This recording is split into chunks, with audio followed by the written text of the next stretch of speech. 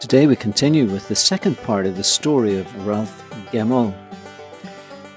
Ralph has made the decision that he's going to commit himself to be part of the church community that lives literally in exile in its own country and are subject to persecutions, to imprisonments, to death, because they want to fight and live for civil and religious liberty.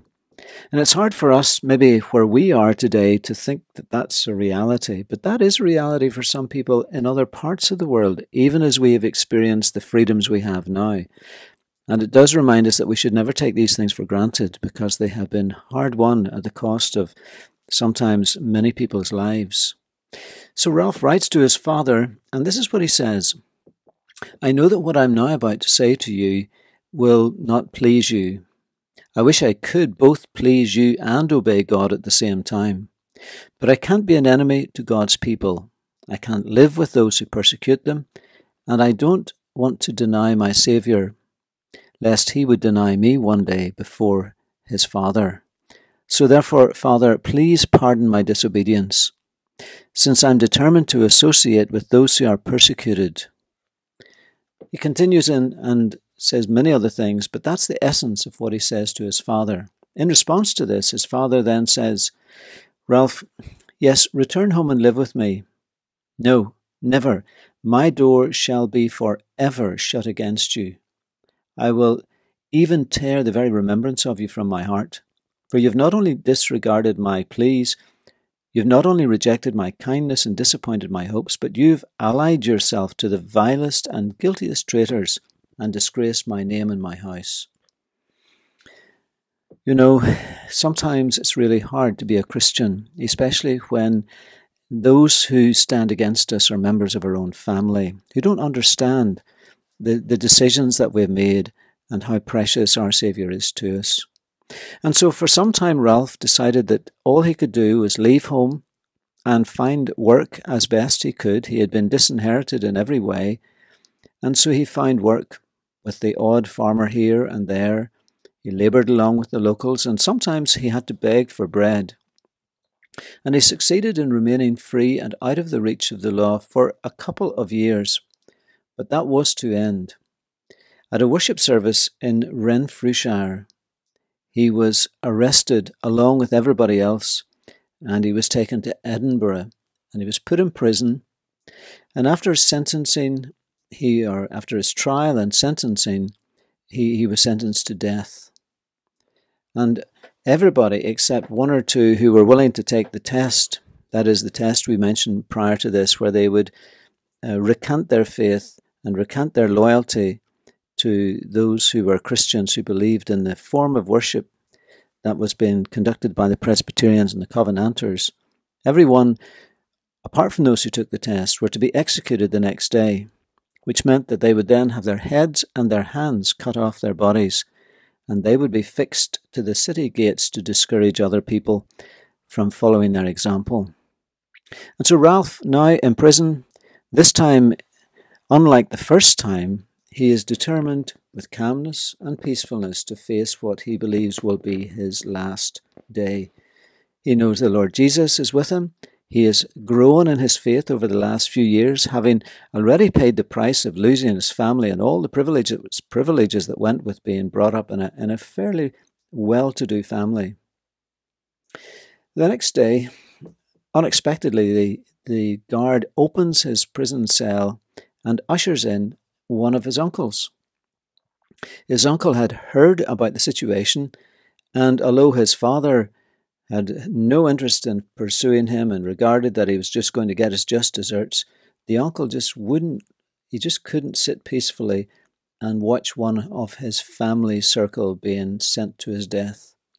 And so he said, I have been able to appeal on your behalf, Ralph, and we have got your sentence of death commuted to exile, and you can be sent away to serve as a slave in one of the colonies of the empire. But if you were to if you were to take the test and you were to be willing to obey the laws of the land as they are, you could get your freedom this very day. There was a sort of a moment of hesitation for Ralph. You can understand. I mean, he has, here's an open door to go out and live life, and You can just imagine what prospects that would mean, or going off to be a prisoner, a slave, to who knows what, most likely a death in a very unpleasant environment. But after some thought, Ralph says to his uncle, Look, I'm really deeply, deeply thankful. I don't want you to take it the wrong way.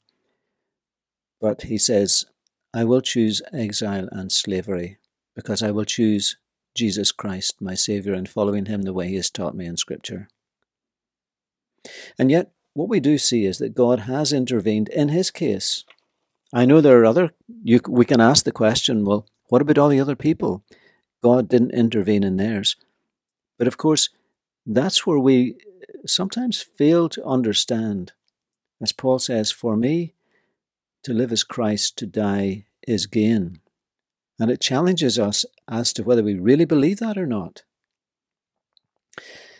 Ralph was put aboard a ship at Leith, and if you're in Edinburgh, you can go down to Leith, and that's where the um, the ship that the Queen would have travelled in uh, it's there, and you can go on board it. And at that same place, he was sent off to a plantation in Jamaica. Uh, in Jamaica.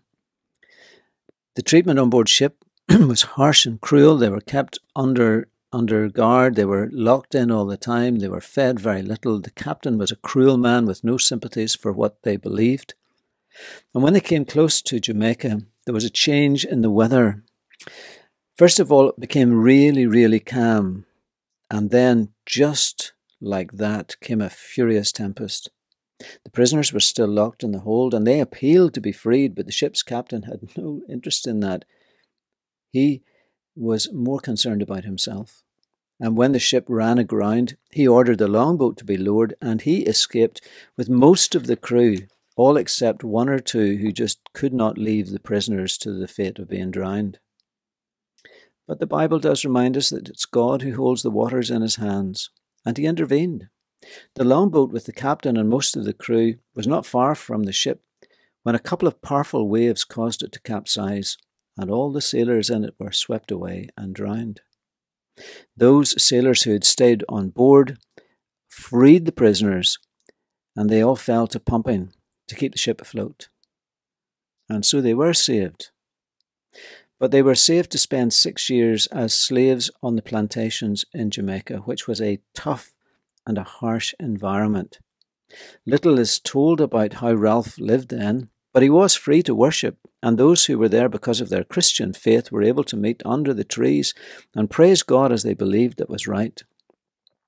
It was better to be free to worship God in Jamaica than to be slaves to the persecution in Scotland in their mind. But six years passed, he survived it, and he was given his freedom. Ships took them back, headed for Greenock, and on the way he arrived at Irvine. And there, on that day he arrived, it was a Sunday, and he walked to worship, and he was amazed and surprised to discover that the persecutions had now ended. You could go freely to worship. The man in the pulpit was one of the old preachers he had known. And the old preacher said to him after the service was over, he says, You know, I'll go with you tomorrow and take you to introduce you again to your father and your brother. For life has changed for them. The father had become had become ill, and the brother was weighed down with guilt over what had happened. And in a very touching experience and time of forgiveness and reconciliation, Ralph was able to reaffirm to them his commitment and love for them because of his love for Jesus. And the final words that are put in this little, this short little summary of Ralph's story are that God will never leave nor forsake all who put their trust in him. As I was reflecting on this little story, I couldn't help think that we're living through a day when I think some people are tempted to step back for the desire of comfort and maybe even for the fear of losing other people's approval, which is a very dangerous cocktail. On the one hand, we need to be warned about that as a dangerous and foolish thing, but on the other hand, we need to be attracted all the more to enjoy the life of faith and service to our Saviour who has given it to us. Some people are struggling to reconnect with their church. I think those who are willing to suffer through the persecutions that we read about here have something to say to us about reconnecting and about reinvesting our, our lives and doing that which the Lord calls us to do when we know we can to love Him and serve Him and worship Him as He so is worthy of. And may the Lord help you and I to do that, even this weekend, if it's possible.